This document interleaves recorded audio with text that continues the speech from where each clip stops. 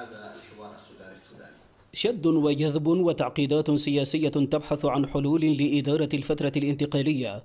حيال هذا الوضع.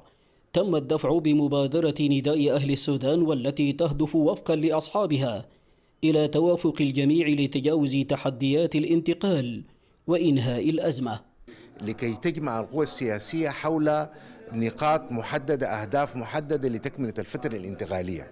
لأنه الخلاف لا يجب أن يكون في الفترة الانتقالية أو حول مجريات الفترة الانتقالية أنها هي فترة عبور إلى انتخابات.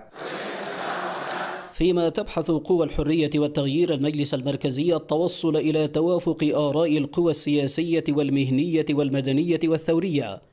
حول الترتيبات الدستورية الانتقالية عبر مشروع الإعلان الدستوري الجديد الذي سيطرح بعد إجازته.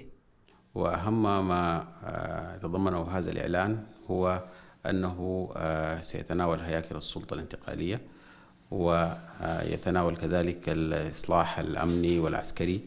وأهم ما فيه أن الإعلان ينص صراحة على خروج القوات المسلحة من العملية السياسية. وتأسيس سلطة مدنية كاملة. ووفقا لكثيرين أن تعدد رؤى الحلول للأزمة السياسية السودانية بحاجة إلى مقاربات للبناء على صيغة توافقية تقود إلى حلول. ما لم يتم ردم هذه الهوة هوة الثقة لا أعتقد أن المبادرات ستقود إلى حلول مرضية. يمكن أن نقول أن هذه المبادرة تنتمي لكذا وهذه تنتمي لكذا ولكن في النهاية لابد أن يكون هنالك نقاط التقاء. لابد أن يكون تكون هنالك أرضية مشتركة يمكن البناء عليها.